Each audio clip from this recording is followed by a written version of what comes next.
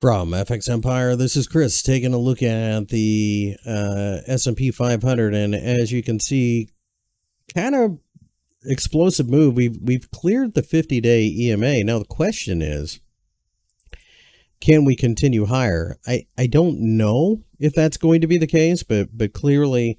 Uh, there is momentum to the upside. Now, longer term, we got to get above 4,000 to even have the conversation of 4,100. If we break back below 3,900, then we're going to fall apart. You know, this has been a pretty impressive move. First thing that the pundits on TV are going on about is how we have closed above the 50 day EMA for the first time in months. Well, the last time we did that, you can see what happened.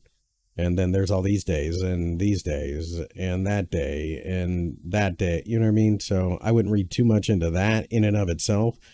Um, probably some short covering heading into the Fed meeting next week.